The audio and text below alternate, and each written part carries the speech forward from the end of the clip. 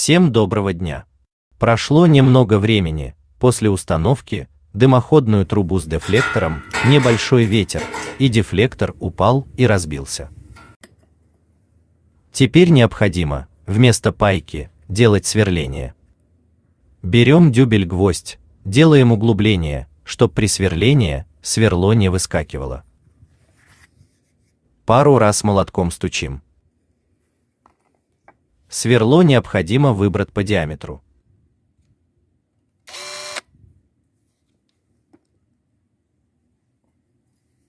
Вот я один уже подготовил.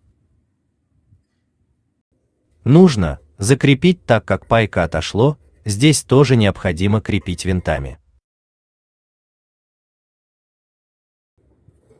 Делаем отметку, а потом сверлим. Я уже закрепил, не стал отнимать времени. Вот так оно должно выглядеть. Также нужно закрепить трубу, я уже сделал отверстие. Полностью завершил, везде закрепил, опять не стал отнимать время. Вот так нужно затягивать винты. Для надежности пришлось закрепить трубу медным проводом.